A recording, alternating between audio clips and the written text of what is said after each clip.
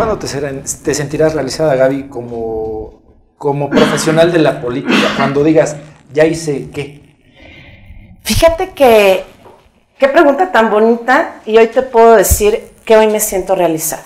Hoy me siento realizada como política desde el momento que yo empecé y pude ayudar con gestión a una, a una persona o pude desempeñar mi trabajo en diferentes áreas que he estado en el servicio público y he puesto mi granito de arena para poder cambiar muchas cosas. Y hoy día, pues bueno, te puedo decir que estoy realmente contenta y echada para adelante porque esta es una gran oportunidad para poder cambiar mi municipio. ¿Y a qué le temes? ¿Qué le temo? A los temblores, ahorita que entra este edificio. a los edificios, ¿verdad? A los edificios. Como que tipo antiguos. a eso le temo. A la naturaleza. Eh, miren, en realidad yo estoy muy agradecida con Dios, muy agradecida con la vida. Eh, soy madre de tres hijos, una, dos niñas, una de 22 años casi, este, otra de 19, y Santiago de, de 4 años, también ya casi 5 años. Y son mi motor, son mi vida. Es, es, mi motivación para poder cambiar este, este municipio, este país, en donde todo mundo tengamos seguridad, este, que no exista ya corrupción, por favor, en este país, en ninguna parte, y que nuestros hijos puedan caminar libremente.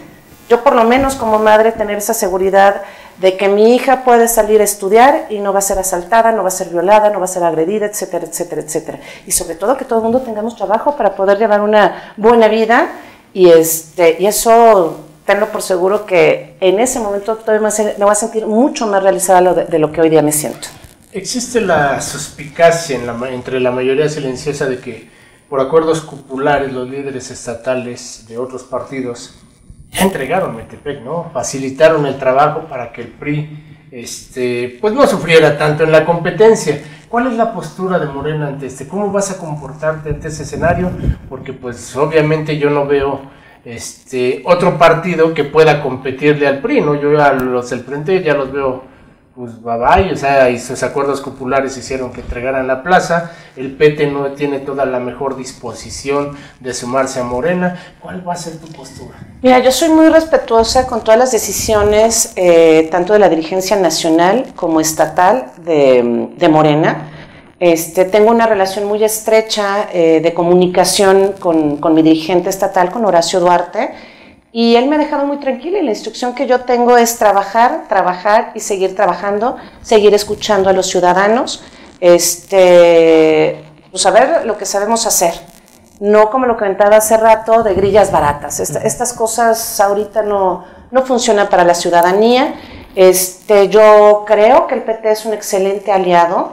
Este, tan es así que ya se firmó el acuerdo nacional, el acuerdo estatal y son compañeros que de gran trayectoria, sin duda alguna, tenemos gente de gran trayectoria en Metepec y que se han venido sumando. Yo estoy muy cierta que se van a sumar con, con todas las ganas y sobre todo, bueno, quitar este tipo de rumores, ¿no? Ya te vi, ibas pasando y saludaste a tal, entonces como saludaste a esta persona ya estás con el otro. Entonces eso también creo que, que, que es de estos rumores que van dañando. Es que aquí no hay tanto los rumores, ¿no? O sea, el PT lo ha dicho abiertamente, ¿no? No, en Metepec y háganle como quieran y nosotros queremos candidato hombre y Oscar es el mejor. Bueno, hasta comunicados han emitido, ¿eh?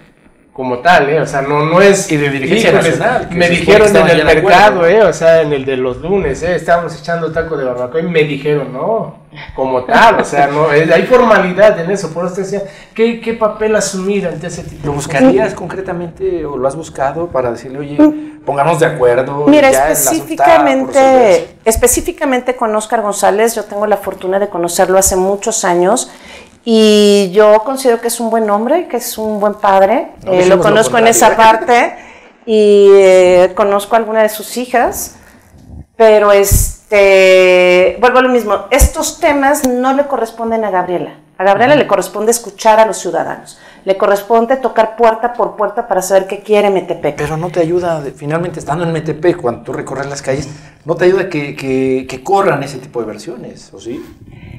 Mira, yo lo que sé oficialmente es hacerle un dictamen de Morena y en este dictamen de Morena aparece mi nombre. Entonces, ¿Qué es lo que tiene que hacer Gabriela? Dedicarse a trabajar.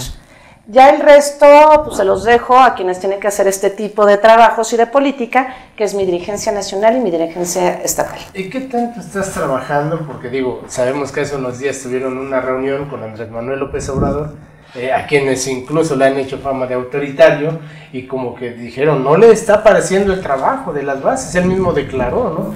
Que este, la estructura del Estado de México, de las peores del país, ¿Qué van a hacer? ¿Qué van a hacer con ese tipo de cosas? Yo tal vez no pondría esas palabras que, que, que, tan tajantes, ¿no?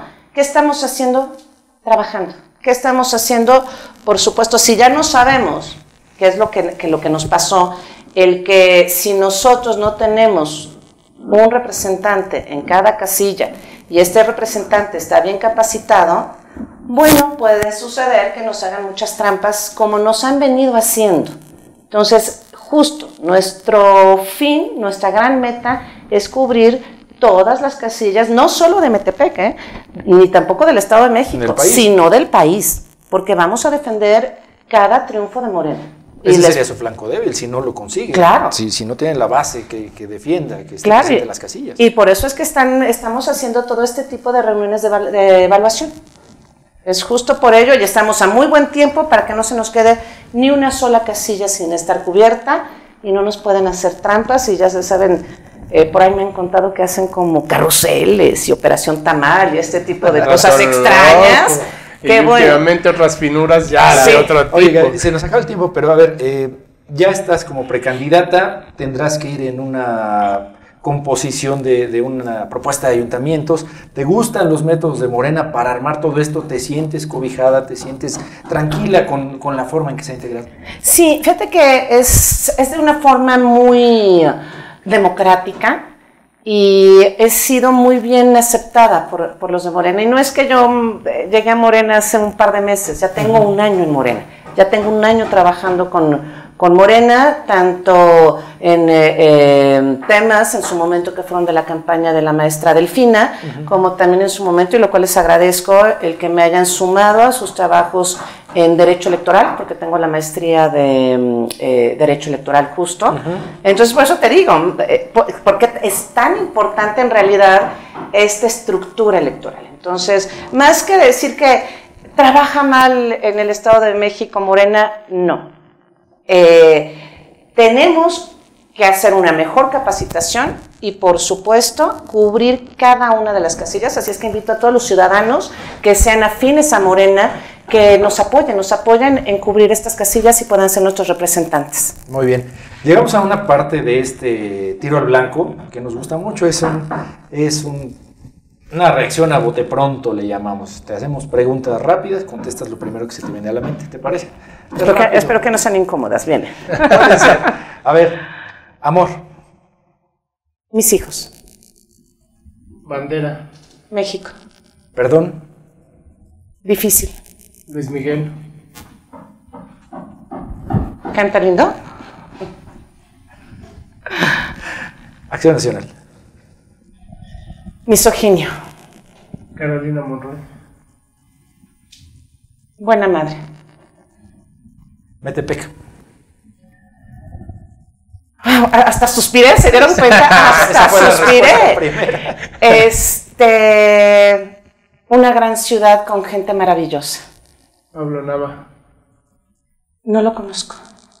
Violencia. De género. Primero de junio. Triunfo.